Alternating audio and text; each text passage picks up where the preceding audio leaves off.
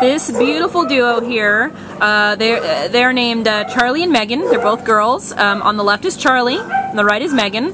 Uh, Charlie's ID number is A4832740, and Meghan on the right, her ID number is A4832738. Um, they are both three years old. Uh, they're both females. Uh, on the left, uh, Charlie is more of a um, golden tan color, um, and then Meghan there is black and white with these beautiful black spots on her legs and her face. Um, and we think their breeds are um, Spaniel mixes. Um, Meghan on the right seems a bit more of a Springer Spaniel Border Collie mix.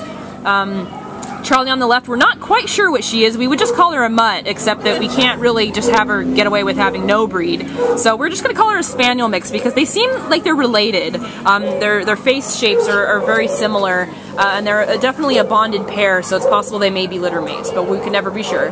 Uh, so let's see. Um, they came to the Baldwin Park Animal Care Center as uh, owners surrenders together on May 20th, um, and I do not think we, we were given a reason of why they were left here. Um, it's a big, scary environment for them. They were really scared at first, but um, they, since they've been coming out, they've been learning to trust and open up. So we just think they need a nice, quiet household that can um, give them the love and attention they deserve, so that they can open up and uh, feel a bit more confident.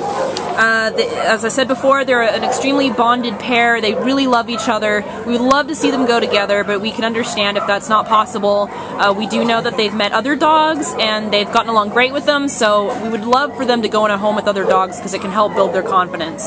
Um, they're very sweet and gentle, um, and, and, even though they're scared, there have been no sign of aggression at all, just uh, kind of this laying around on you and receiving pets and love, which is great.